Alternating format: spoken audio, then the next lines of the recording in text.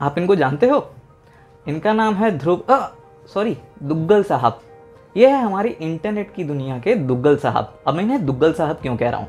क्योंकि इनके पास सब चीज़ों का इलाज अवेलेबल है। कभी अर्थशास्त्री होते हैं तो कभी फाइनेंस एक्सपर्ट होते हैं तो कभी डिफेंस एक्सपर्ट हैं, होते हैं। पिछले ही महीने ये कोरोना एक्सपर्ट बने थे, और शायद फ़िलहाल अभी भी हैं। पिछले महीने इन्होंने ये कहा कि जो चाइना के बाहर के जो लोग हैं, उनको कोरोना से डरने की बिल्कुल ज़रूरत नहीं है। वैसे इटली और बाकी सारे देशों का तो हालत आप जान ही रहे हो। और इसी महीने कहते हैं कि कोरोना बहुत भयानक है। और शायद सच है कि नहीं बट मैंने सुना है कि इन्होंने शायद कोरोना की दवा भी खोज ली है। तो ये है हमारे दुग्गल साहब, जो हमें बाकायदा देखने को मिल जाता है कि ये खुद को एक्सपर्ट बताते हैं। तो ये जो दुग्गल साहब हैं, इनका तो क्रेडिबिलिटी तो फ़िलहाल मैं नहीं जानता, लेकिन जो मैं इस वीडियो में आपको बताने वाला हूँ, ये सारी इन्फॉर्मेशन मैंने W H O C D C और डिपार्टमेंट ऑफ़ हेल्थ के यहाँ से कलेक्ट की है। तो इसका मतलब ये है कि अगर फ्यूचर में इस इन्फॉर्मेशन को जो मैं आपसे शेयर करने वाला हूँ, उसको लेकर अगर कोई अपडेट आता है तो मैं मेरे इंस्टाग्राम पेज या फेसबुक पेज या ट्विटर पर इसके बारे में अपडेट्स दे सकूँगा और आप उसे आँख बंद करके भरोसा कर सकते हो उसके ऊपर। यानी कि ये जो मैं न्यूज़ दूँगा, वो 100% सच होगी। तो आप ऐसे ही किसी भी रैंडम न्यूज़ जो या फिर ट्वीट आप जो भी कहीं भी फेसबुक या फिर कहीं भी ऐसी न्यूज़ देख रहे हो, उस पर आँख बंद करके भरोसा ना करें।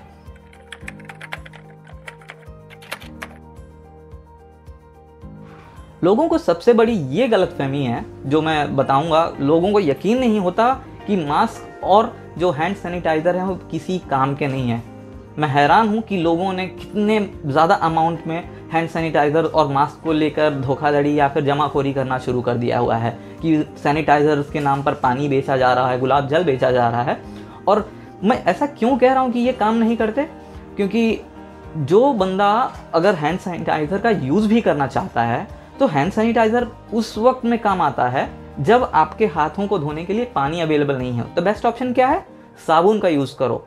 साबुन इसीलिए क्योंकि जो भी वायरस होता है, यानी कि जितने भी वायरस हमारे सामने अवेलेबल हैं इंक्लूडिंग कोरोना वायरस यानी कि कोविड नाइन्टीन वायरस जिसे कहा जा रहा है, उसका जो आउटर लेयर है, वो फैट सेल का बना हुआ है। और साबुन और तेल का मिलन तो आप जानते हो कितना प्यारा होता ही है। तो अगर आप साबुन से हाथ धोगे मिनिमम 30 सेकेंड्स या 20 सेकेंड्स के लिए तो जो फैट सेल होता है, वो हो जाता है डिस्ट्रॉय और उसका जो इंटरनल कोडिंग यानी कि इंटरनल जो ऑर्गन है उस वायरस का, वो होता है एक्सपोज और उस वायरस की हो जाती है डेथ तो जब आप हाथ धोते हो तो वो फ्लश में चला जाता है, यानी कि यानी कि एक डेड वायरस आपने पानी से आपके हाथों के ऊपर से निकाल दिया।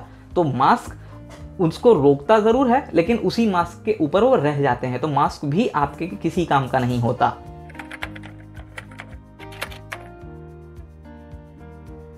लोगों को सबसे बड़ी गलतफहमी ये है कि अगर उन्हें कोरोना हो गया तो उनकी मौत हो ही जानी है, जो कि बिल्कुल गलत है। कोरोना और कुछ नहीं, एक सांस से रिलेटेड एक बीमारी है, जिसे एक रेस्पिरेटरी डिसीज भी कहते हैं। कि आपको सांस लेने में अगर तकलीफ़ हो रही है, आपको बुखार जैसा हो रहा है, आपको सूखी खांसी आ रही है तो there are higher number of chances कि आपको फ्लू हो सकता है। सेम लक्षण कोरोना के भी हैं, बात अलग है तो आप ज़रूर टेस्ट करवा लें। लेकिन अगर आप कोरोना पॉजिटिव निकलते भी हो तो आप इस वह में ना जिए कि आपको कोरोना हो गया तो आपकी मौत पक्की है। तो देर आर हायर चांसेस कि आप उसे सर्वाइव कर जाओ। आपको ज़्यादा से ज़्यादा सांस लेने में दिक्कत ही होगी और कई लोगों ने खुद को एक्चुअली रिकवर भी किया हुआ है। इसकी मोर्टालिटी रेट दो परसेंट से भी कम है।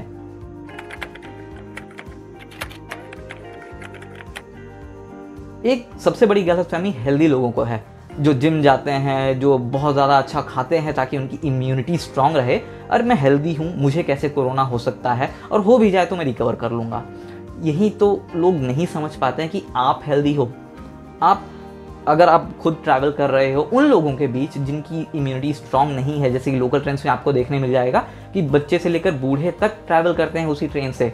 अब उसमें आप ऐसी पब्लिक जगह पर जाओ, आपको कोरोना हो और आप उसको सामने वाले को, यानी कि आपके को पैसेंजर को, अगर आप या फिर आपके को कलीग को ये ट्रांसफ़र कर दो तो शायद हो सकता है कि आप सर्वाइव कर जाओ बट जिसकी इम्यूनिटी स्ट्रांग है, जो ऑलरेडी किसी दूसरी बीमारी से जूझ रहा है, वो शायद सर्वाइव ना कर पाए। तो आप खुद को घर के अंदर ही रखें या फिर क्वारंटाइन रहें तो ज़्यादा अच्छा होगा।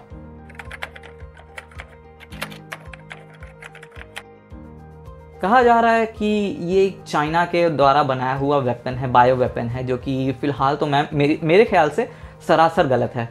जो ये कोरोना का वायरस है, वो ऑलरेडी जाना माना वायरस है, ये नया वायरस है नहीं।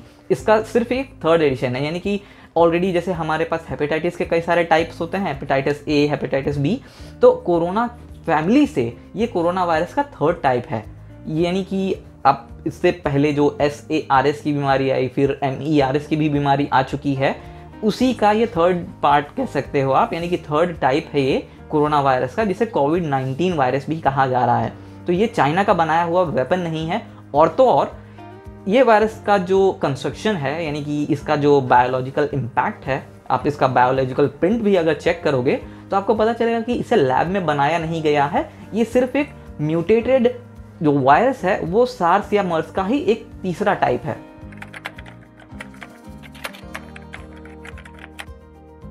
मैंने फेसबुक पे कुछ वीडियोस देखे जिसमें लोगों को ये बताया जा रहा है कि अगर आपको कोरोना हो जाएगा तो आप जॉम्बीज जैसे दिखने लग जाओगे।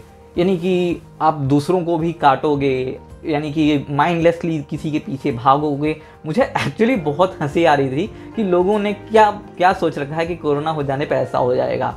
आप खुद सोचो कि इतने सारे लोग जॉम्बी बनना शुरू हो जाएँ और एक दूसरे को खाना शुरू कर दें तो कितना ऑकवर्ड होगा। बट ये बात भी गलत है, कोरोना वायरस का पता लगने में भी चौदह दिन लग जाते हैं। तो इवेंचुअली अगर आप कोरोना अगर आपको हो ही जाएगा तो पता लगने में आपको चौदह दिन लगेंगे। और आप जॉम्बी जैसा तो बिल्कुल बिहेव नहीं करोगे।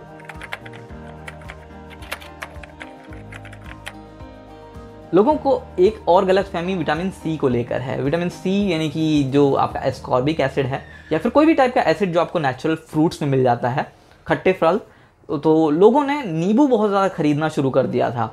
मैंने यूएस में न्यूज़ भी देखी कि लोगों ने नींबू इतने सारा अमाउंट में ख़रीद लिया कि यूएस ने नींबू के सेल के ऊपर ही बैन लगा दिया। तो इसमें गलत फहमी की बात यह है कि सिर्फ़ नींबू खाने से आपकी इम्यूनिटी नहीं बढ़ जाने वाली है। आपको सारी वो चीज़ें जो आपकी बॉडी को कंस्ट्रक्ट करती हैं, जैसे carbohydrates protein amino acids vitamin तो सिर्फ़ विटामिन सी खा लेने से या फिर लहसुन चबा लेने से आपकी इम्यूनिटी नहीं बढ़ने वाली है। हाँ ये चीज़ें इम्यूनिटी बढ़ाने में हेल्प ज़रूर करती हैं। बट बैलेंस के साथ में, यानी कि सब के सब आपको कंस्ट्रक्शन के लिए चाहिए आपकी बॉडी की इम्यूनिटी के लिए तो सिर्फ़ विटामिन सी खाने से कुछ नहीं होगा। आप ये गलत फहमी भी ना पालें तो अच्छा है।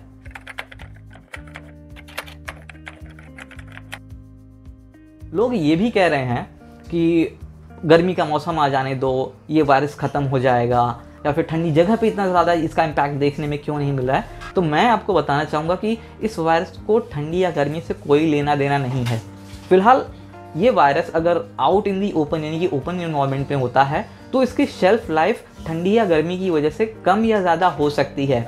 बट एक बार अगर ये वायरस आपकी बॉडी में चला गया तो जैसे कि आपको सबको पता होगा कि आपको आपकी बॉडी का जो आपका इंटरनल हीट है, यानी कि जो टेम्परेचर है, एक सर्टन नंबर तक बनाकर रखना पड़ता है। तो एक बार वायरस अगर आपके बॉडी के अंदर आ गया तो वायरस को फ़र्क ही नहीं पड़ेगा कि आप ठंडी में रह रहे हो या गर्मी में। उसको इंक्यूबेट होने के लिए आपकी बॉडी का टेम्परेचर बराबर होगा, जो 14 डेज़ में आपको पता चल जाएगा कि आपको वायरस है या नहीं।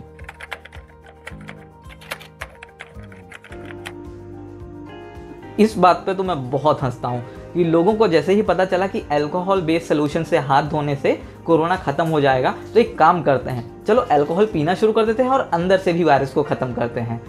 दोस्तों, ऐसा बिल्कुल नहीं है। पीने वालों को बहाना चाहिए तो उन्होंने पीने के लिए, चलो अल्कोहल पीते हैं, यानी कि शराब पीते हैं का काम शुरू कर दिया। अल्कोहल से इस वायरस का कोई नुकसान नहीं होने वाला। नुकसान होगा तो आपके जेब को होगा। बस, और कुछ नहीं।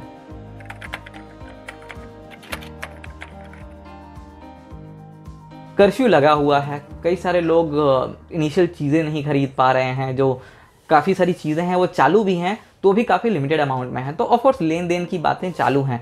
कई सारी गीली चीज़ों से भी, कई सारे चीज़ों से भी ये फैल रहा है। तो उसमें पैसा सबसे बड़ी चीज़ है। ऑफकोर्स बिना पैसे के आप कुछ खरीद नहीं सकते राइट तो लोगों के मन में एक ये भी डर है कि आप मुझे पैसे से भी कोरोना वायरस फैल सकता है? तो इसका जवाब सैडली हाँ है कि कोई भी जो वायरस है ऑफकोर्स ये हवा से तो फैलता नहीं है, ये ड्रॉपलेट से फैलता है। आप सब जानते ही होंगे कि यानी कि जब आप किसी से बात करते हो, आपको जो स्वेट होता है तो ऑफकोर्स आपके हाथों में भी स्वेट होता है। अगर आप उन्हीं पसीने वाले हाथों से या फिर आप नाक पोछ रहे हो या फिर कोई भी पार्ट आपने अगर बॉडी का टच किया हो और उसके बाद अगर आप नोट या कॉइन्स को हैंडल करते हो तो ऑफकोर्स वो उस कॉइन्स या नोट्स को कंटामिनेट ज़रूर करेगा। और फिजिकली अगर आप उस नोट को हैंडल करते हो तो of course there are higher number of chances कि वो नोट की वजह से आपके हाथों या बॉडी में भी वो वायरस ट्रांसमिट हो सकता है। तो मेरी मानो, अगर लेन देन करना ही है, आप सामान खरीद ही रहे हो सैनिटाइज कर लो। और अगर आप पैसे की बात कर रहे हो तो एक काम करो यूपीआई करो बेस्ट ऑप्शन है, पैसे का डिजिटल ट्रांसफ़र हो जाएगा पेमेंट का पेमेंट और आपको वायरस से डरने की कोई ज़रूरत भी नहीं पड़ेगी।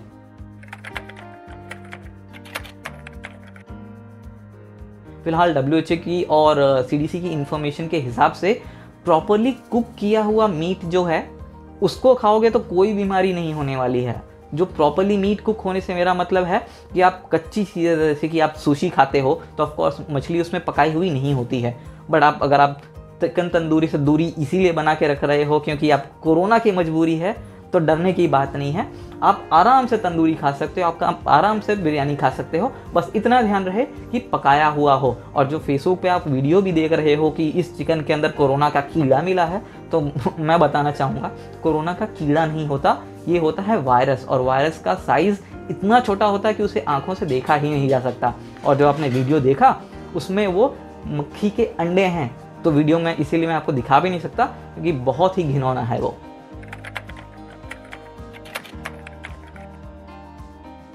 फ़िलहाल एक नई इन्फॉर्मेशन भी आई है कि क्या मक्खियों से कोरोना वायरस फैल सकता है? सबको पता है मच्छर से तो नहीं होता, क्योंकि मच्छर के पेट में वायरस डिस्ट्रॉय हो जाता है। बट मक्खी से कैसे वायरस फैल सकता है? सैडली ये भी एक सही बात है कि मक्खियों से भी ये वायरस फैल सकता है। अगर कोई पर्सन जिसे कोरोना वायरस का इन्फेक्शन है, वो ओडीएफ यानी कि ओपन डेफिकेशन करता है तो अगर उसके फीसिस के ऊपर कभी कोई मक्खी बैठती है तो ऑफकोर्स जो वायरस है उस मक्खी के पैर से चिपकने वाला ही है। अगर वो मक्खी किसी ऐसे जगह पे लैंड करती है, यानी कि ह्यूमन स्किन या फिर कोई ऐसी चीज़ जो ह्यूमन कंजम्पशन के लिए बनी हो, उसके अंदर जाती है तो ऑफकोर्स वो वायरस को ट्रांसमिट कर सकती है। तो आप प्रॉपर हाइजीन बना के रखें, मक्खियों से दूर रहें तो आपको कोरोना से डरने की कोई ज़रूरत नहीं होगी। तो मक्खियाँ हाँ वायरस को ट्रांसमिट कर देती हैं।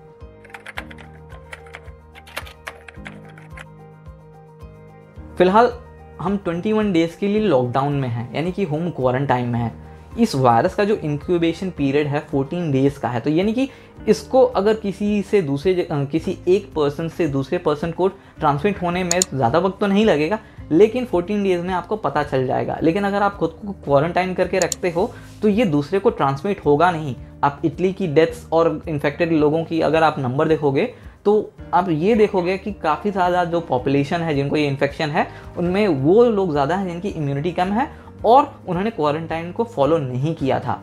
इवन यूएस में भी सेम केस है। इंडिया ऑन अदर हैंड हम फोर्स क्वारंटाइन में हैं। अब ज़रूरी चीज़ों के अलावा और किसी चीज़ के लिए बाहर ना निकलें। दिक्कत ये होगी कि हमारे पास जो मेडिकल फैसिलिटीज़ हैं, वो भी लिमिटेड अमाउंट में हैं। तो prevention is better than cure तो आप घर के अंदर रहें, बाहर ना जाएँ। सैनिटाइजेशन का पूरा ध्यान रखें। और जैसे ही आप वायरस को फैलने से रोकते हो तो आप अपने आप को ही नहीं, आपकी पूरी फैमिली आपके पूरे नेबरहुड को सेफ़ रखते हो। So you can be the hero while staying at home अगर आपके पास कोरोना वायरस को लेकर कोई सवाल है, आप मुझे मेरे पेज पर फॉलो कर सकते हो, आप मुझे इंस्टाग्राम पे क्वेश्चन कर सकते हो, और अगर आप चाहो तो मुझे ट्विटर पे भी ये क्वेश्चन कर सकते हो, मैं आपकी हेल्प ज़रूर करूँगा। और तो और, अगर आपको कोरोना रिलेटेड कोई चेकअप्स की इन्फॉर्मेशन है तो मैंने डिस्क्रिप्शन में नंबर दे दिया हुआ है।